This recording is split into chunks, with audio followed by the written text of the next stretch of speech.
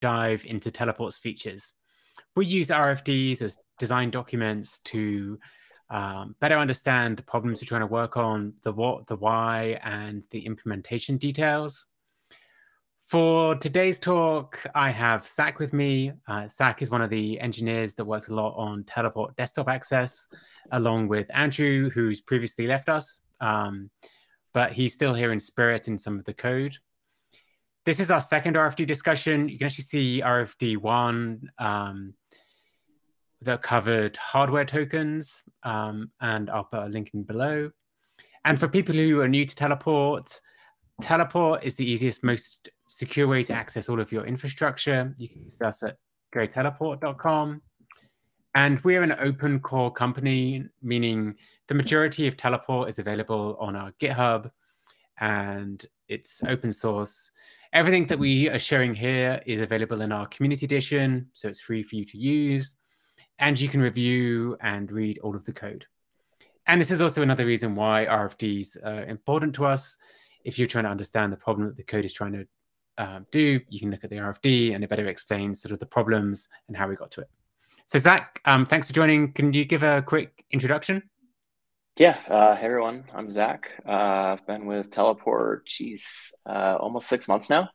Uh, and before that, I was actually using Teleport as a customer. Uh, so love the product enough to, to come build it. And uh, I guess I was lucky enough to inherit the desktop access feature. And here we are. So yeah. Uh, yeah, looking forward to it. Thanks for having me.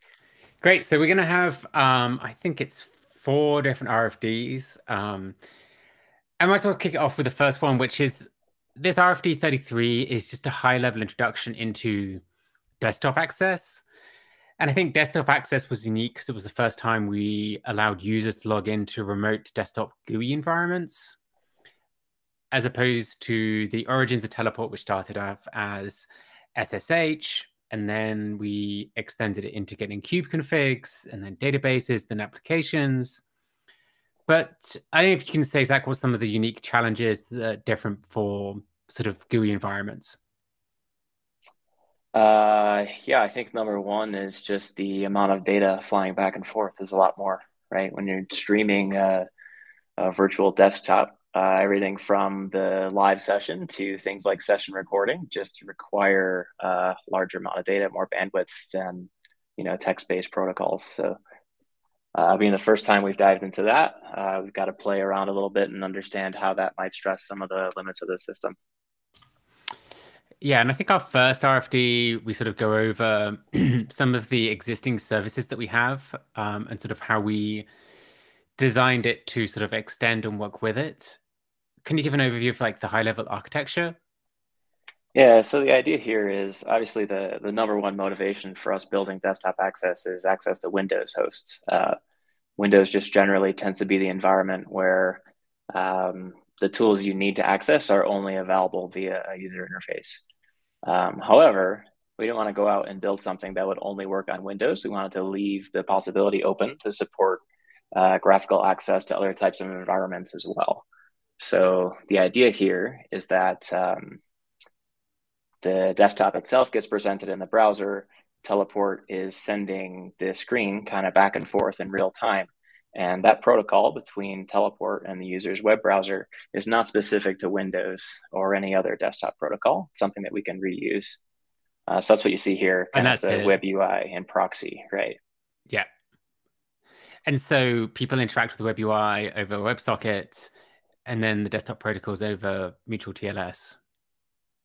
Right. Yep. And so the idea is that proxy is essentially a uh, translator between theoretically any number of desktop protocols and then our own custom, what we call TDP or teleport desktop protocol, which is kind of meant to be a very simple, naive uh, protocol.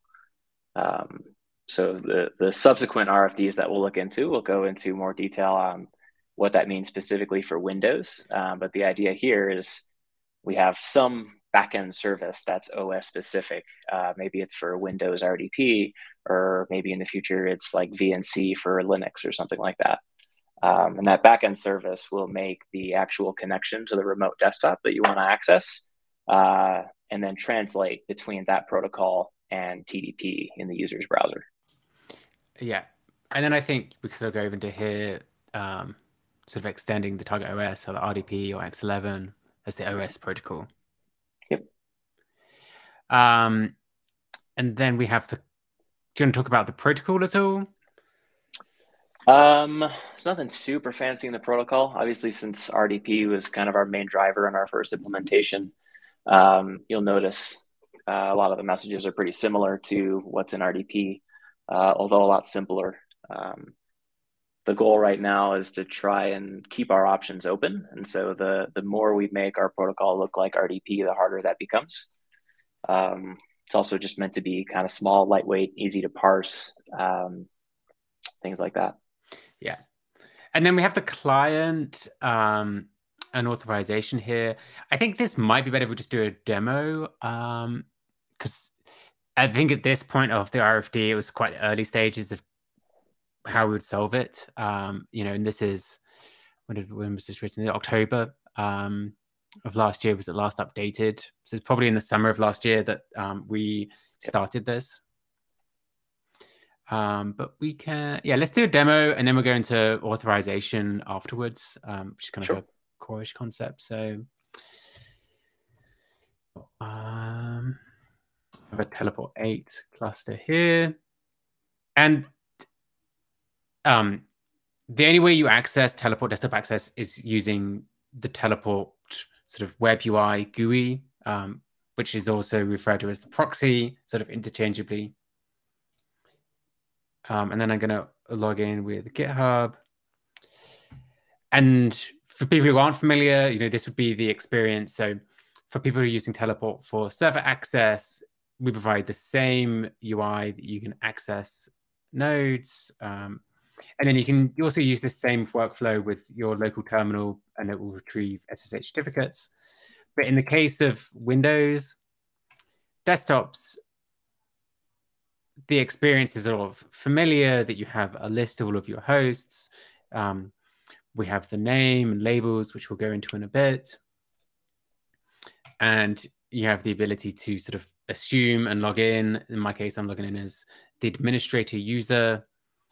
And then from here, I have a full um, GUI experience. What's a fun thing? Calculator um, that you can sort of use at a relatively high-ish frame rate. Um, maybe you're not going to be winning CS:GO championships, but definitely enough to perform the most amount of tasks. And if you have anything to add, or well, we can come back and forth between this and the RFDs as well. Um, yeah, not much. I think we're definitely not the first, um, but we, we did consciously want to only offer this uh, UI via a browser. Uh, we think the sandboxing provided by modern browsers offers a kind of extra layer of security. And also, just in terms of distribution, it's much easier to not require any extra software on the machine. Just fire up your web browser and connect to your desktops, and you're kind of good to go. Um, all right, back to RFD. So, authorization is next. Um, and this is sort of a core part of Teleport's role-based access control. I think I kind of showed one example of, actually, if I, I can show you my role, um, or the modification of my role, which I think this has changed.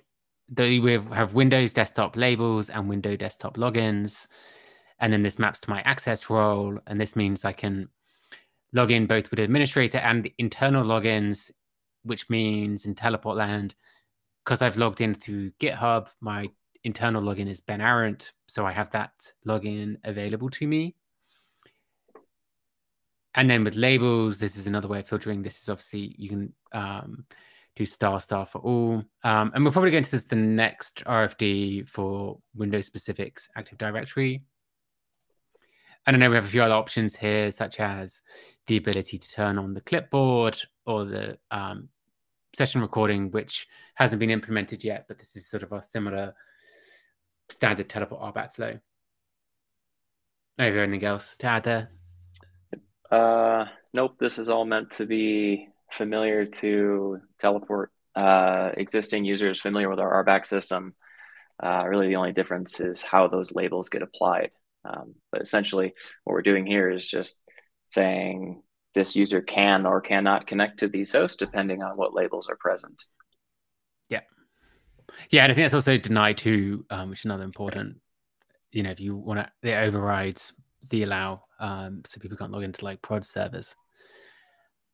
And then I actually saw a community user ask us today, how does the mapping work? And it's definitely if you have a small, you have the option of having, you know, multiple people logging in as administrator, and then you have the full audit log as well as um, I started a session as Ben Arent as administrator to this server. And so you can link back, you know, people are sharing these one credentials. So show right if Zach was doing these administrator things instead of just seeing your Windows logs or administrator logged in and having to figure out what happened. Um, all right, let's. We I think we're session recording, but let's jump into that um, in a bit. Um, let's go to number thirty-four. So 34, this is the bulk of Windows specific details. Um, do you want to start with anywhere specific in this, Zach? Uh, no, top to bottom works for me. All right, let's go. So let's start with the architecture. Um, Great.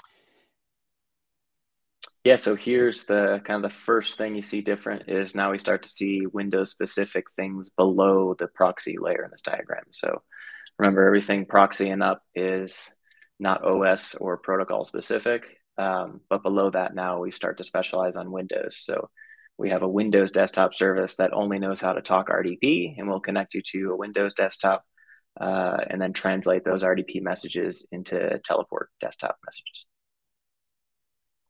And then what's the difference between the LDAP connection and the RDP connection? Right. So the Windows desktop service uses LDAP uh, for a couple things. Um, the first is to automatically discover eligible desktops. So if you have a very large environment with lots of Windows hosts, um, you probably don't want to manually, you know, build up a list of all the ones you want to make available to teleport. Um, at the same time, you probably have too many that you don't want teleport just to find all of them, or maybe you do. Um, but you need some way for teleport to be smart enough um, to make these hosts available to you. So we use LDAP, uh, which is a protocol that Active Directory implements, uh, where we can uh, basically make queries and um, get results back. And so we will construct a query for computers on the Active Directory domain. Uh, we allow the user to further customize that query if you want to filter down your results or select a subset of your Windows hosts. And then Teleport will automatically register those in the cluster and make them available to connect. In fact, if you go back to uh, the demo real quick and you look at your list of desktops, let me finish the session. Should be able to see. Yeah, yeah so if you just pick one of these, um, that teleport.dev slash origin label, uh, which is like the third one usually, uh, dynamic basically means that it was discovered automatically via LDAP. Um, we also support just manually defining desktops in a configuration file. So if you have tons of desktops, but really only two or three of them are important that you want in teleport. You can just disable the auto discovery and kind of hard code those desktops in your configuration. So in my case, I have basically everything, which includes my domain controllers, which would probably be something you'd want to filter out and not necessarily yep. expose it. Yep. And so that's another thing is if you're not using this automatic discovery via LDAP, you don't get a lot of these nice labels that show uh, what version of the operating system are running, um, the DNS host name, that kind of stuff. Uh, we're able to pull that back because that comes back in the LDAP result that we make. Yeah, and there's my IP address, and I think because I'm using um, EC2 instances, this is the unique right. host name that EC2 is kind of a bit funky with Windows hosts, but yep, how they how they show it. So that's the first use of LDAP is just discovering host to connect to, which is an optional behavior that you may or may not enable. Uh, the second use of LDAP, which is an optional, is, uh, and we can talk more about this in the authentication section, but in order for us to connect to the Windows host without requiring a password, uh, there needs to be some things in place, some certificates in the right spots.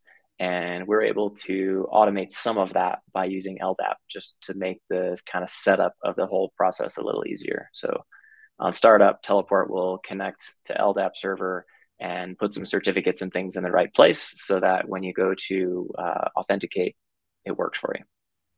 Cool. Now, as far as the actual connection to the desktop, LDAP's not in, in that flow at all. So once the desktop is available and registered and connected, um, and you actually go to initiate that session, there's no LDAP happening at that point. It's just a standard RDP connection from the desktop service to the desktop. And then that's using the identifier of the host name, which you can either pre-populate or can be found through LDAP. Right. Yeah, so we have the auto discovery. Um, and then supported versions, I think we go back to Windows 7 and um, Windows Server 2012 R2, which I guess is now a decade old. Yeah. Um, I think that just comes down to picking the versions that are still commonly in use, but also support the Windows authentication mechanisms that we require. Yeah. And we have the protocol. I know this is sort of this was crafted, been accumulated over time. Um, we must have jump to security concerns. Yeah, so RDP is huge. Uh, it's protocol upon protocol. Um, a lot of features uh, and has worked for a very long time. Uh, but also, just given the size, there's been a history of vulnerabilities in the protocol. Um, so we wanted to make sure that one, we didn't expose RDP all the way to the end user, and two, any kind of RDP connections that we make are made in a memory safe language, something like Go or Rust. Yeah, and this was the first edition of Rust for teleports. Can you talk about the decision? Uh, yes. Um, technically, there's kind of two editions of Rust at the same time, but we'll say this was the first. Um, I know the yeah, crustaceans so will probably argue. I know Forrest probably had some Rust somewhere. Right. yep. Um, yeah, so at the time we were kind of looking uh, settled on RDP as the protocol of choice to connect to Windows, just because it's always there and there's no additional kind of per desktop software to install if you use RDP. Uh, and we started surveying um, what RDP implementations are out there today, because um, rewriting that all from scratch would be quite an effort and we didn't see a lot of great Go options. Uh, there's of course free RDP, which is very popular uh, and a great project written in C, um, but C for us is too uh, too risky, uh, just in terms of the type of vulnerabilities that arise there. Uh, but we did happen to find a Rust implementation of RDP. So what we're doing is using uh, basically CGO, which is the foreign function interface for Go code to call into C and compiling the Rust library in a way that it just looks like C. Uh, so there's kind of this big mix of um, interop happening there to convert between the various layers, but um, it works and we get the kind of safety that we desire. And then that would be at uh, like this point here behind the scenes. Right. So part of that Windows desktop service is actually running embedded Rust library inside it. Uh, most of it's written in Go. Um, there's just a a small Rust section in there. Um, and the Windows desktop service kind of encompasses all that together and does the translation back and forth. Cool. And how was your sort of your experience adding this into our teleport pipeline? Uh, it was fun. Uh, well, just because of the, you know, anytime you're the first person to do something, uh, you miss a bunch of things. So it took a while to iron out all the issues uh, and make sure it works on all the different platforms and architectures that we support. Right, uh, it was pretty easy to just get running on your developer workstation, uh, but then you realize that we actually support 32-bit uh, Linux, 64-bit Linux. We support ARM. We support old CentOS builds. Uh, and trying to make sure everything worked on all those different combinations took a little while to get right. In fact, we're still working on a few things there, but um, and then do you have any advice for any other Go projects thinking of including Rust in this manner? Uh, other advice. I don't really have any other advice at this point. No, uh, I haven't. Uh, I haven't fully decided how much I like the approach myself. Uh, we'll see. we'll see how things turn out. Time will tell. Um, right. I, am also still learning Rust, uh, and I really want to like Rust, um, and I think I will, but not smart enough yet. I kind of kind of get over that initial learning curve. I think still. Yeah, and actually, I think because uh, this design document has still to be updated, but here's some of our, um, you know, the three degrees of things is either use the RDP RS Rust library, use libfree RDP via CGO, uh, or use implement our own RDP protocol in Scratch, you know, as the most extreme right. version. Yeah. And then we went for, did we go with RDP RS Rust library? We did, yep. Yeah. And then it supports smart cards, which is sort of a core part that I guess we'll cover in, in um, authentication. And then this um, modes, I know our current release of Teleport 8 only supports the gateway mode, um, which is similar to our Kubernetes access. It lets you provide a a range of hosts from one teleport service. Um, but I think agent mode is really interesting. Um, you want to talk about what agent mode proposes? Yeah, this is super interesting. So with the gateway mode that we've implemented today, you have a relatively small number of Windows desktop services compared to the number of Windows desktops you may be able to connect to right? So one desktop service might be able to proxy connections for tens or hundreds of desktops behind it, um, which that's super easy to deploy, runs on Linux just like the rest of Teleport, um, and is a little bit more, I guess, resource efficient too, just because you're running less software. Uh, but agent mode kind of flips that around and says, let's actually run the Windows desktop service itself on each and every Windows desktop we want to connect to. Um, so that's interesting for a few reasons. First of which is it'll be the first time Teleport itself runs on Windows. Um, today we can run the TSH client on Windows uh, and some things like that, but the the core kind a bulk of Teleport doesn't yet run on Windows. Um, so that'll be required to make this work. Uh, but when it does work, uh, the nice thing about this approach is you don't have to expose RDP outside the localhost uh, network adapter. Um, so given that RDP is often uh, target uh, for malicious actors and has had some vulnerabilities in the past, uh, it'd be really nice to be able to ensure that the only RDP traffic that's flowing uh, is just on the box itself. And then the kind of service that's translating RDP into TDP is not happening a network hop away. It's happening right on the Windows host. Yeah, Yeah. and definitely I experienced this while setting up um, teleport desktop access by leaving RDP exposed to the internet, which is an awful idea. And yeah, it doesn't take long uh, for known vulnerabilities to get popped. And I guess this greatly reduces that potential. The other interesting thing here is when we do agent mode, we won't have that LDAP based desktop discovery because each desktop service will only be reporting the desktop that it's running on. So there's no need to like discover additional hosts. You just go ahead and run that system service on any desktop you want to be available. And I think we have here, you can also possibly collect. Um, oh, also allows you to block all inbound connections, which is also interesting mm-hmm. because there's like a reverse tunnel. Um, and then what would the other session information that we could collect um, on this example?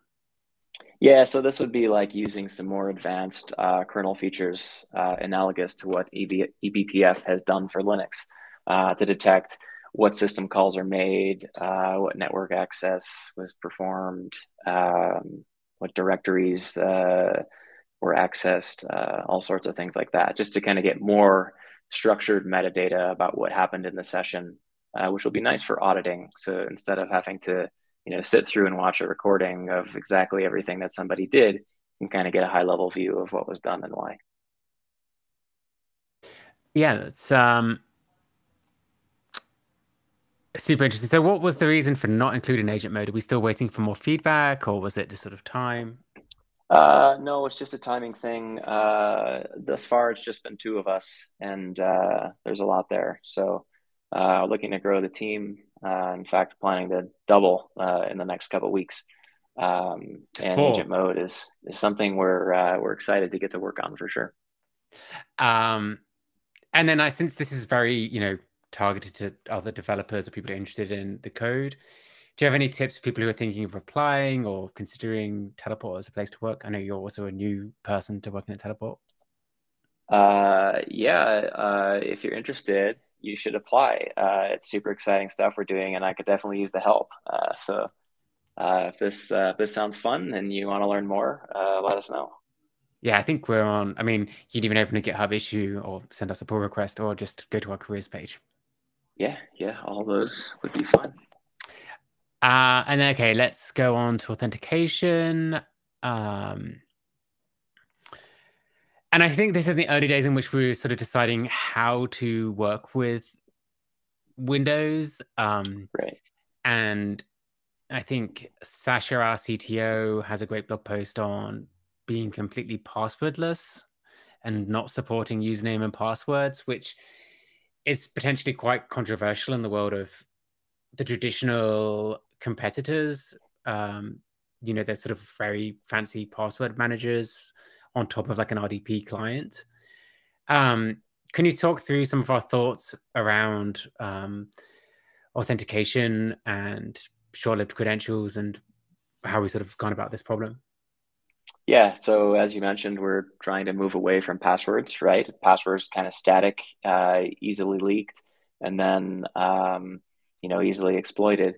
Whereas a certificate has additional metadata attached, often has an expiration date, very short lived. Uh, the attack window is much smaller. Uh, and of course, it's just harder to remember, or you know, you can't quickly catch a glimpse of it and then you know take it with you. Um, so, in terms of certificate-based authentication on Windows, when it comes to RDP, uh, there's really only one choice, and that's with smart cards. Uh, so early on, we were kind of thinking we'll aim for smart cards and then offer the traditional kind of enter your username and password as a fallback. And we made the decision not to allow that fallback, meaning the only way to connect via teleport is using the kind of smart card certificate based approach. Okay, yeah, and I know we'll be going to that uh, in the next RFD 35. Um,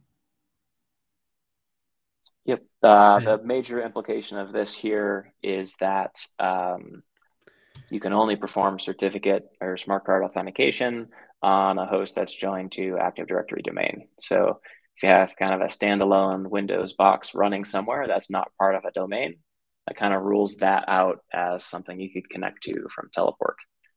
Um, we'll be looking into uh, Windows Hello in the future, which is uh, kind of the next gen Windows authentication supports biometrics and things like that.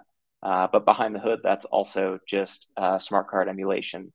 Um, so we're hopeful that in the future, that's what we'll use to connect to standalone uh, Windows desktops. But for now, Active Directory is required. So, uh, you know, for my home Windows machine, I would it wouldn't be capable right. of adding it to Teleport. So you have to have you have to be a very keen hobbyist to have a right. active directory home server. Um, they do exist, though. We've met keen hobbyists with Active Directory domains. Um, which I'm sure they're very grateful to have a free, secure way of accessing right. their home cluster. Um, let's keep going.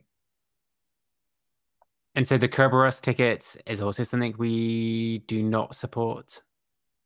Correct. Uh, that's more common with machine to machine authentication anyway, um, yeah. but it just wasn't a good fit for teleport. Um, okay, then we have host discovery, which kind of talked through a little bit. Um,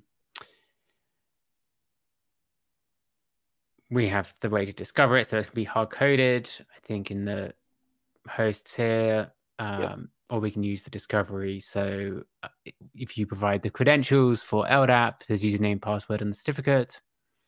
This is sort of our boilerplate, but you can also, you know, save this to a file locally.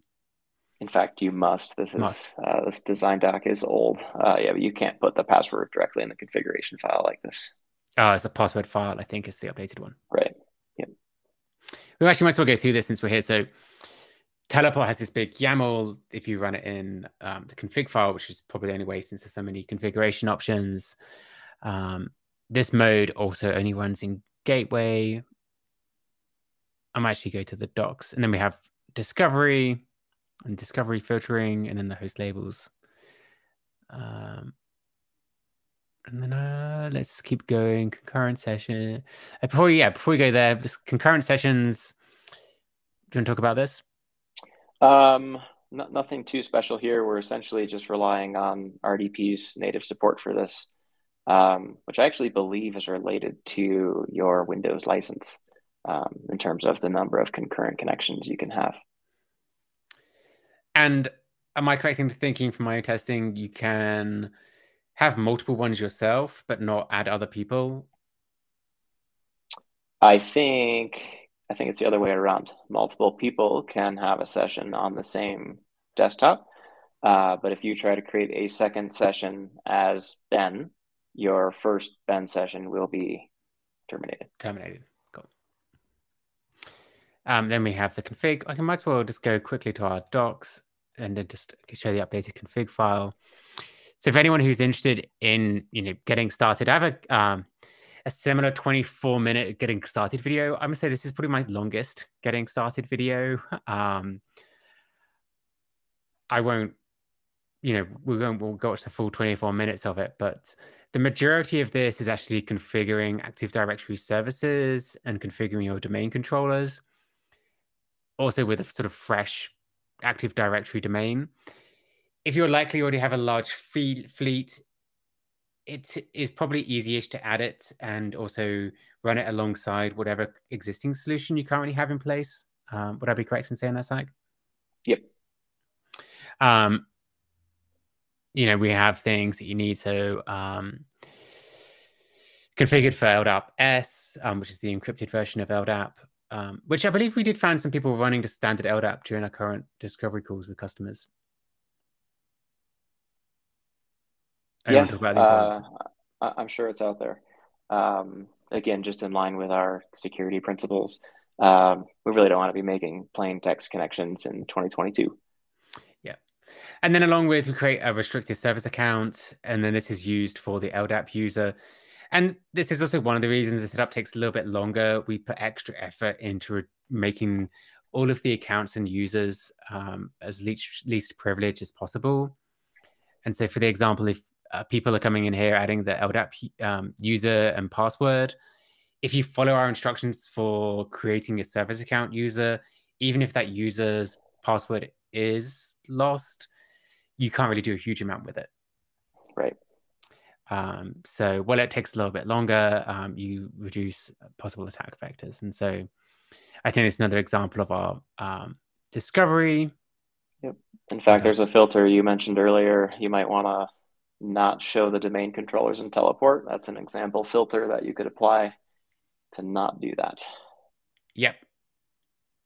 And so then we have a little the... complicated uh, in terms of the the syntax, but essentially each one of these filters forms a giant and condition. Um, so here we're saying the location is Oakland, and then it's not a domain controller, which apparently 516 is the group ID that's always assigned to a domain controller. I would never have known that. Right. That's why it's in the uh, docs. AO exclude domain controllers, also known as 516. Oh, and there's a handy LDAP filters for more information on the yep. syntax. Yep. And we will attempt to compile the filters you provide on startup. So if you give us a valid filter, you don't have to go through the, or an invalid filter, I should say um, there's not this giant trial and error loop where you don't know something's wrong until you try to connect to a desktop. You'll see on startup that the configuration is invalid and you need to fix your filter. Oh, that's a nice, nice addition. Um, yeah, so if you're looking at the configuration, recommend checking out our docs, uh, which is access, desktop access slash reference. Um, Hold on a second. I believe the sun has just come out, which is a rare thing because we've been raining all day. So I'm just going to close my window here. Uh, there we are. My camera will just adjust in a sec. All right, I'm back. Uh, all right, let's go on to number 35. Oh, do you have anything else to add for that RFD, Zach? Uh, nope. I think we can continue. Yeah. All right. Number 35 is uh, Windows Certificate Authentication. And you want to just give a quick overview of what uh, this RFD is about? Uh, yes. So, like I said, we didn't want to support username password authentication. Um, Teleport itself is a certificate authority, so we try to authenticate with certificates wherever we can. And the way you do that in Windows over RDP is with smart cards. So, in a physical sense, you have a, a physical device, smart card reader, that's plugged into the desktop. Um, and you insert your smart card, and then there's an exchange of data uh, to the actual hardware device. Uh, Windows presents a challenge to the smart card. Um, smart card signs that challenge, sends it back, and ultimately, when that whole exchange is done, like we trust that the user is allowed to connect, and RDP allows the session, or Windows allows the session to happen. Um, so when we want to extend that to an RDP connection, that's actually super interesting how it works. Is um, Windows desktops ship with a built-in driver that makes it look like there's a physical smart card reader connected to the machine. Um, but that driver is implemented by sending low-level hardware commands over the wire uh, from the client that you're connecting with to the remote desktop you're trying to access. Oh, so the, the Windows itself, uh, at some level, doesn't even know the difference between a, a, physical smart card was inserted or this is being emulated over the network. And for implementation, what that means for us is uh, one, we had to make some updates to the Rust libraries to support the smart card emulation layer. Uh, but then we get to do all sorts of stuff. Um, like we have to provide metadata as to who's the vendor of this smart card, what features does it support, um, how does it kind of handshake with the the hardware or the driver on the other end. Um, and when all that's done, uh, Windows just thinks that a trusted smart card was authenticated. And then that's kind of described in this uh, diagram here. Yep. Mostly the smart card info, this name would be sort of teleport virtual smart card, slots is sort of predefined. Yep. Yeah. So when I said we had to add some support to the RDP library, that's that smart card virtual channel I was talking about there. Uh, so yeah, the RDP protocol uh, essentially allocates these things called virtual channels for different purposes. Um, they're kind of like separate streams of data um, so that all the data is not necessarily interleaved, it's separate uh, single purpose. Uh, so there's an entirely separate channel that you have to request when you make the connection and say, I want to allocate this channel for virtual smart card data to fly back and forth on the wire. Um, and kind of once that's done and you support all the right messages and protocols, um, this will work. So getting this to work was uh, a lot of great work by Andrew, who has since left us, but uh, it was one of those you add support for one thing and then the next error is like the smart card is saying it doesn't support this feature and then you add that one in and eventually you have a smart card emulator that supports just enough um, to work. And so it's certainly not super fully featured as compared to a real physical smart card but it does the job for us.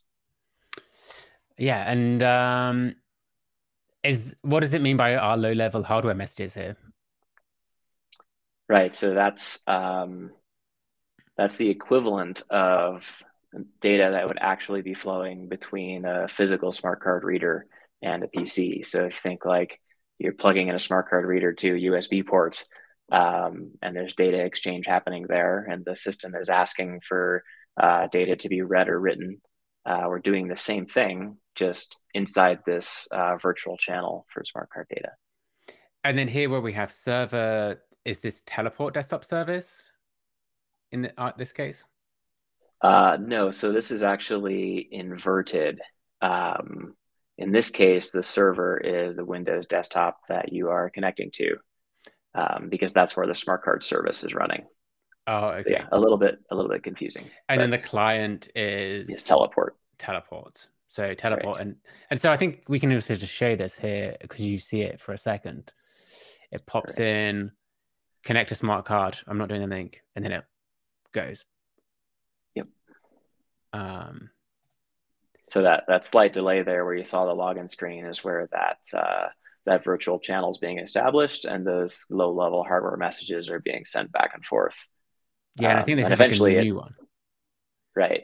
Yep. So it it auto logs you in as if like you just sat down and physically plugged in a smart card. And it's like oh now i have the information i need. I don't need to wait for you to enter credentials or username or anything like that. Yeah. Um and i think this one has taken a while since this is a new yep and i'm popped in. Which would be similar if i was to log in to any rdp just because that machine hadn't been accessed. It has to set it up and configure it and then the certificate that we present over the smart card interface that Teleport generates, uh, pretty similar to the certificates that Teleport has always generated. Uh, there's just kind of some additional requirements that Windows imposes on these certs. So we had to make some updates there. And um, we also issue these certs for, I think, only five minutes. So the idea is when you, every time you go to initiate a connection to a Windows desktop, Teleport's kind of giving you a one time use certificate that's valid only for just enough time to connect and then invalid. So even if that were somehow intercepted, uh, by the time anyone could use it, it's already invalidated. And then that's is that sent during the initial RDP connection or the authn challenge? Uh, it's kind of both. Okay.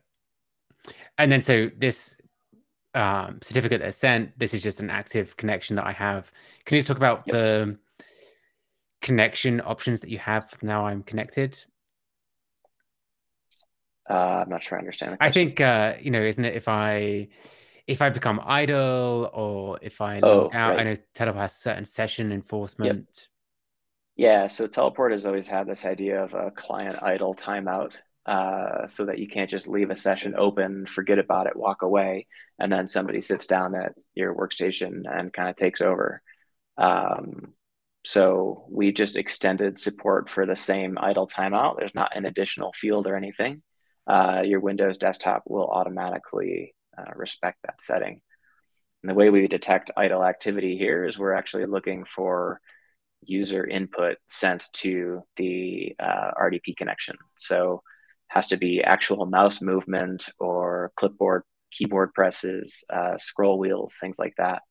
Uh, so even if Ben were to you know, stick a YouTube video on play on this remote desktop session, there is network data flying back and forth because that uh, desktop is being shared, but there's not really any client activity. And so Teleport would do the right thing and kick you off after that idle timeout's expired if you didn't move the mouse or anything like that.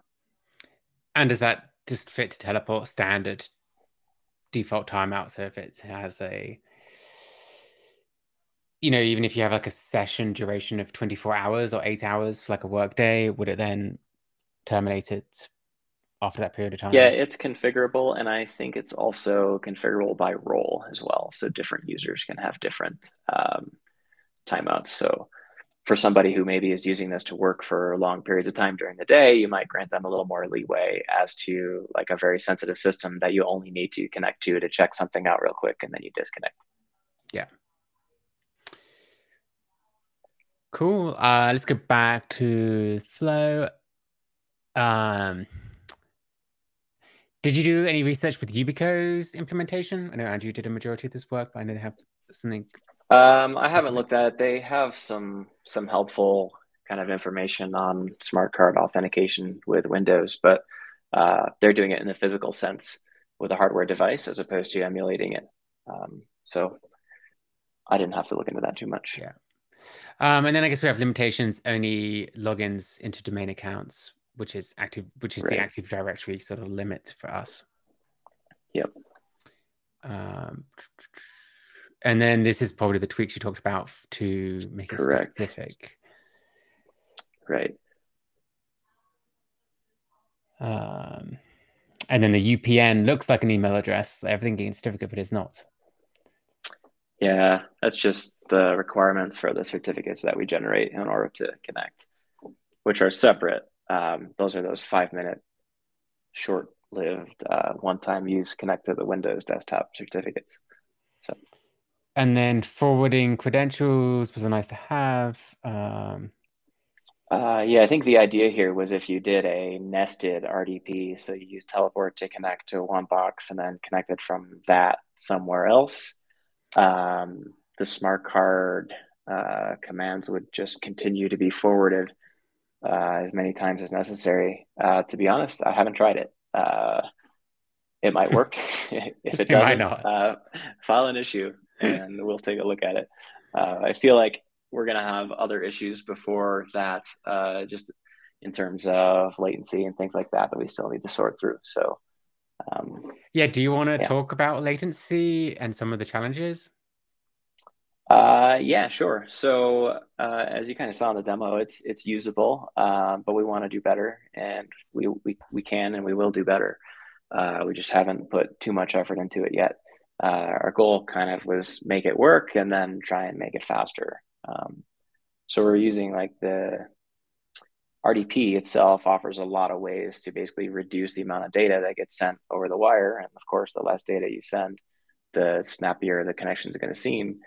Um, so one option for us is to look into some of those extensions. Um, we're hesitant to do too much of that at this phase because, like I said, the more RDP functionality we lift into our protocol, the harder it may be to adopt other protocols.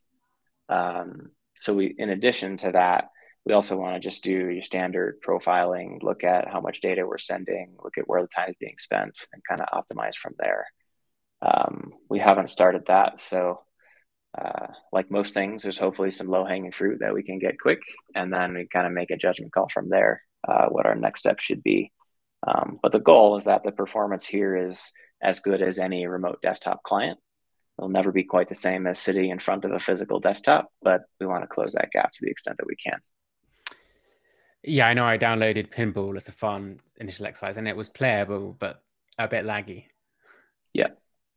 Uh, but I think the majority, you know, if you want to go web surfing, um, oh, which you can't on domain controllers, which is very wise, especially on Internet Explorer, or at least you can turn it turn off browsing. Um, it's still relatively snappy. On just gonna hit my light, Ben. Oh, yeah, the opposite problem as you. Is the sun is going down. Um, and then for I think another interesting challenge of you know data on the wire is our session recordings, which probably now is a good time to talk about it. And so, yeah, for sure. In our audit log, we have for SSH sessions, we provide this sort of output, and we do this for kubectl execs. And this isn't, it's almost like a DVR, which kind of seems a bit dated to say that nowadays. it's probably like Twitch for your terminal, but it has the benefit of you can also pause it and um, you can copy and paste information from here and rewind and this is something functionality that we'll have for teleport desktop access can you talk about some of those sort of challenges um, yeah sure. so um, the first that I, I, talked about earlier is there's just a lot more data with uh, a graphical session like this as to opposed to a uh, textual ssh session. Uh, so number one is just making sure that as we capture this data, we're not degrading the actual performance of the RDP session. Um, in terms of the recording, we have a kind of beta version of that internally, just getting ready. And uh, what we're doing to start is just capturing these TDP messages uh, as we send them to the browser. Nice thing about that is we're capturing at the layer that's not specific to Windows. So if in the future we add uh, different types of remote desktops that you can connect to, the session recording will just work. There's nothing Windows specific about it. Um, in terms of what's actually happening is uh, the majority of the messages that are being sent up to the browser are little PNGs, just tiny little images that are associated with one part of the screen. And the browser gets it and it figures out which part of the screen that is and it draws that image there and just does that very fast to give the impression of you're uh, in front of a desktop. In this case, this be sort of like do we sort of draw them as is it one large PNG or is it like individual sort of like no? It's it's many small PNGs. I think there's 64 by 64 pixel uh, okay. tiles. Um, so sometimes if you are on a maybe a not so snappy connection, um, you can actually kind of see the effect of it drawing kind of top to bottom as those tiles fill in. Um, but yeah, the, the idea is ultimately if we can save those and then we also capture the time at which we captured them relative to the next one. We can then just play them back to the browser and essentially use the same exact browser code that we use in a live session to play the session back. The only difference is during playback, we don't need to capture user input or clicks or things like that because there's no desktop on the other end to send those back to. Yeah. Now, this works great for being able to view uh, the session in the Teleport web UI. Um, but you're kind of limited. Uh, suppose there was an incident or you did some troubleshooting the other day and you need to, you know, create an archive of, of what happened and you want to save that. Um, outside of having a live teleport cluster to be able to play back that session in, you don't really have a great way to watch it. Um, so ultimately, the idea is to have the kind of the stream of PNG images in the background uh, as our like first step for recording, so that you you capture those as they're sent. Uh, but then maybe like in the background, we convert those to a more standard video format, like MP4 or something, where you have a full, uh, you know, playback video playback functionality. Adjust the playback speed and seek to a particular spot, like a DVR maybe. yeah. And uh, and work How that way. Large so has the initial recordings been? Uh, so we don't have a really good answer for that because it's it's hard to quantify, right? Um, your screen right now is not sending any data to the browser because nothing's changing. So we'd love to be able to say it's this many megabytes per minute of session, but that's simply not the case. Um, because the, the amount of data we have to capture is totally dependent on the amount of activity that you have running. So, so one of the things you might like do, a YouTube video, it would exactly. basically be the same amount of videos. Yep. So we feel like we could get a worst case by just playing a video and capturing that session because it's always changing. And that would maybe give us an upper limit to the size of the data. Um, but we expect it's going to be pretty heavy. Um, PNGs are already uh, not super tiny format. Uh, we will compress it both over the wire and store store it on disk. But um, yeah, it'll be significantly more space required to store these as opposed to SSH recordings, which are quite small in comparison. Yeah. Um, and then I think other audit log activity, we have the session started event. Oh, it looks like Sasha just to Sasha, what are you session. doing? Who knows? He's trying to break our demo. He's trying to break the demo on one of the nodes, a plugin node. But yeah, we will audit session start and stop events. Uh, if a session is terminated due to that client idle timeout, you would see an audit log there. Um, we haven't yet added support for um, clipboard or file transfers to and from the remote desktop but those two things will also generate audit events. So you'll be able to see that, hey, uh, this user copied this file um, to the desktop or took this file off the desktop, uh, as well as uh, just clipboard actions.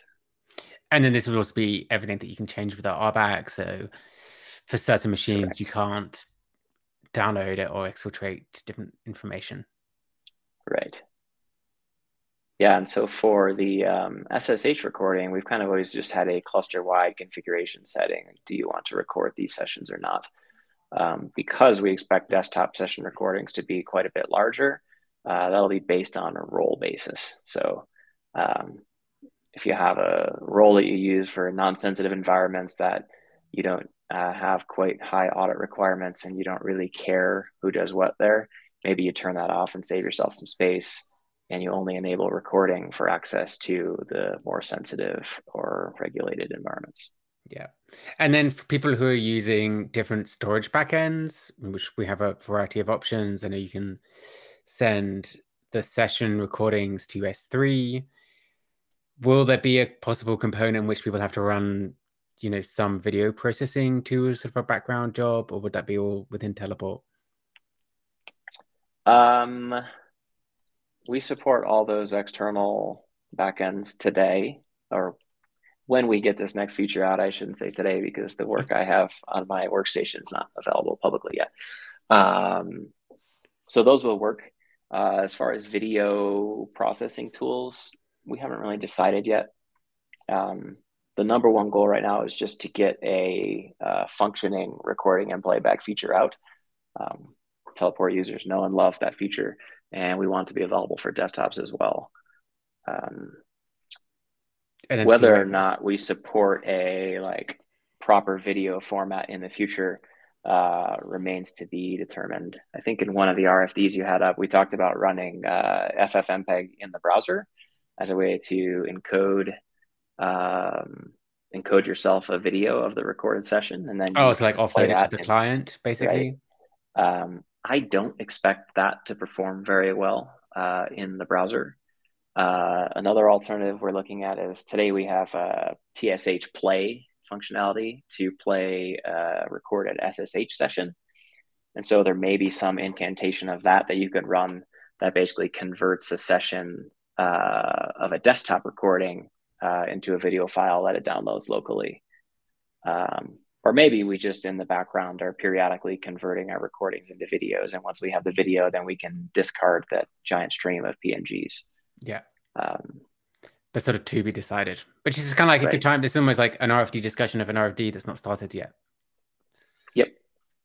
Um, and then talking of that, I know we're almost up to an hour, but let's get on to number 37, um, which is the protocol.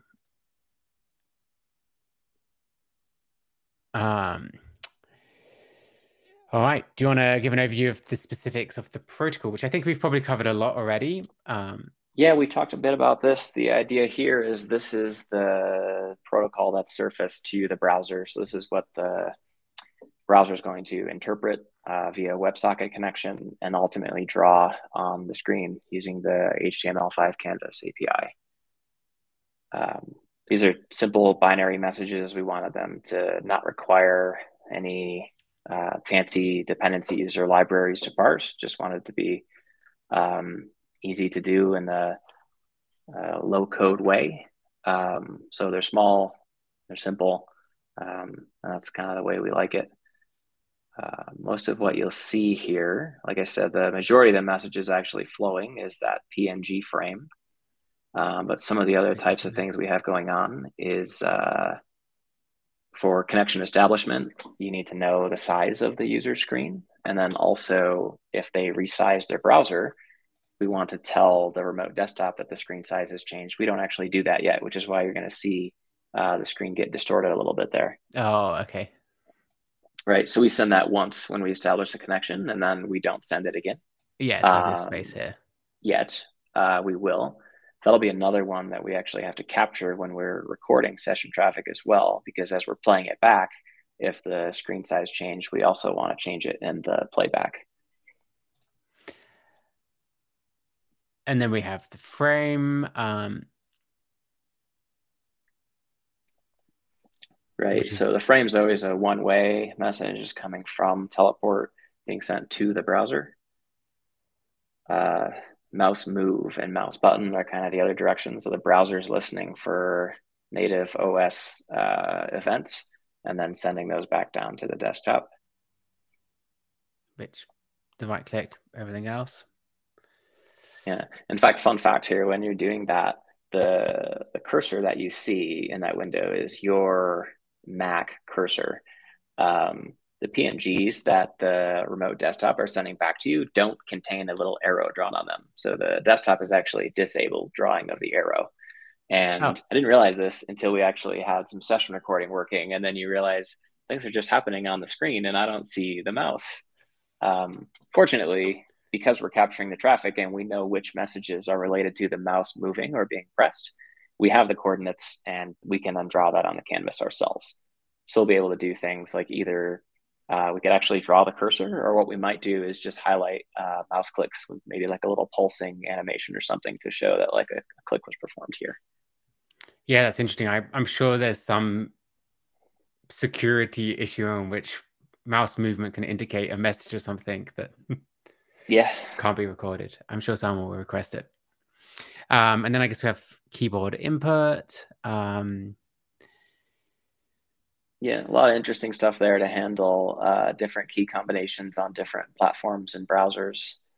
Uh, like we've learned that uh, the Mac RDP client, for example, will sometimes automatically translate uh, the command key to a control key when it sends messages over the wire.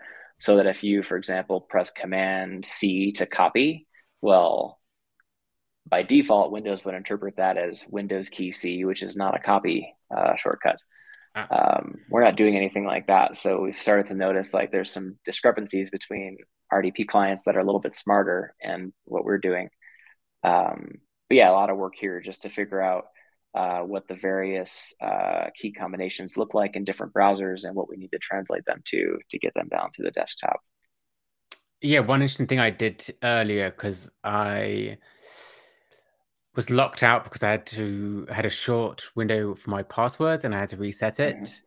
And the RDP client that I was using on my Mac told me that I had to Control Alt Delete mm-hmm. to which gives you an option to change your password.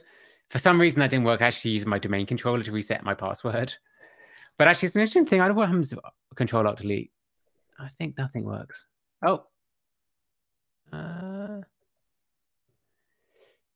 Something yeah, so it's it's interesting. The the clients are pretty smart. And at first I thought they were just always remapping uh, command to control, but they're not. They're doing it under certain circumstances only, which is pretty clever. Yeah, I guess I have an option to open a new desktop window, which is something new. Oh, there we are. So in my case, my backspace and delete I had to press my delete on my smaller keyboard, just not my backspace. Right. Yeah. Um, oh, I guess this is an interesting edge case. I accidentally locked it.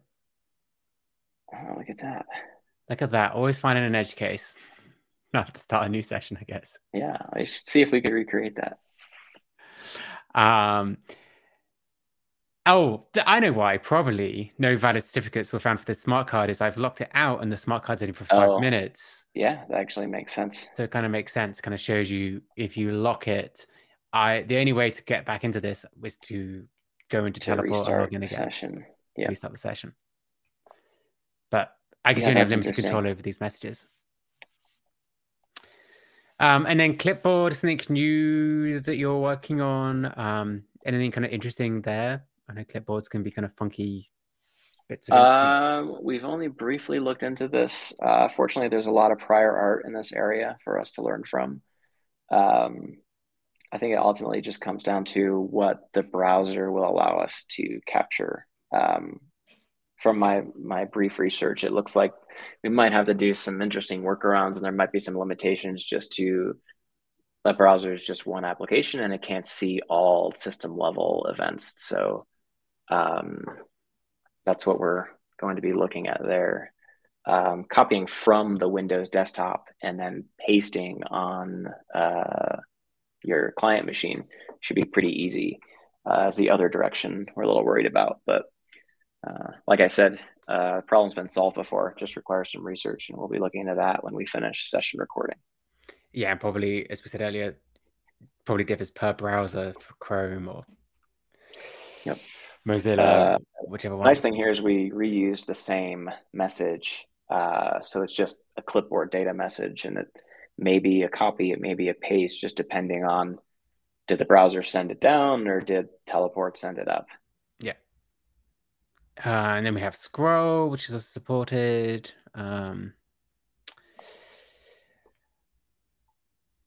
yeah, but I think that covers the protocol. Another kind of other question I'd have: Why did we use PNG frames?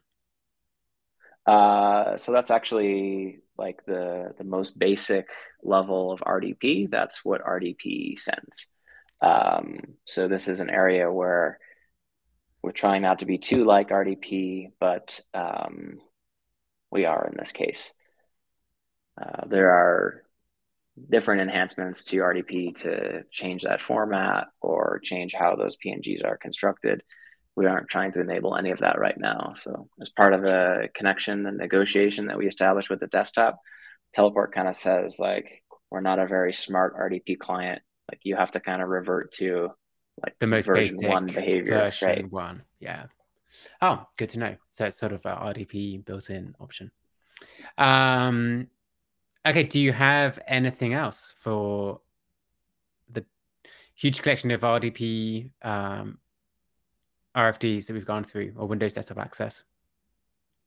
I don't think so. Uh, I think we covered the features pretty well. Uh, the roadmap, obviously, session recording is top of mind right now. Now we're going to move to uh, clipboard and file transfers, which is a commonly requested thing. Uh, yeah, and yeah. I know here we have our documentation. So this is more up to date for our RBAC and CLI. Um, there's not much to add here. And like I said, we have great getting started guide, which might have this other video which you can use. And I found this troubleshooting. These are common things that you might find during setup. Um, that can be a little confusing. That I think all of our team have stumbled upon while setting this up. Yeah, I think that's the that's the uh, if you were to ask me like what's the thing about desktop access that maybe you lose sleep about, uh, it would just be the the configuration and the setup and the troubleshooting. Um, so we're going to look to make that better as well. I think a lot of it is just uh, our relative inexperience with Windows uh, as compared to Linux and um, configuring Active Directory and getting everything set up appropriately. But um, we hope to make it easier and to automate more and more of it as we go. So while I hope that the getting started guides are helpful right now, I also hope to make them smaller and easier as time goes on. So your feedback there is appreciated. Yeah, and I think the best way to either get in touch with us is create an issue, or we have our community Slack here, yep. both on GitHub, or our forum, which is another good place, um, which is a GitHub discussion board. But yeah, I think similar to Slack, we're also looking for people who are new and looking to try something and work with us to sort of get the rough edges um, for teleport desktop access. Cool. Well, Zach, thank you for your time today this was super informative. I've learned a thing or two along with my journey on t- getting Teleport desktop access set up. Do you have any last closing thoughts or questions? Uh, no thoughts or questions. Thanks for the time. Appreciate it. And, All right. Uh, thanks, Zach. Catch you next time. All right. Yep. Thanks for watching. See ya.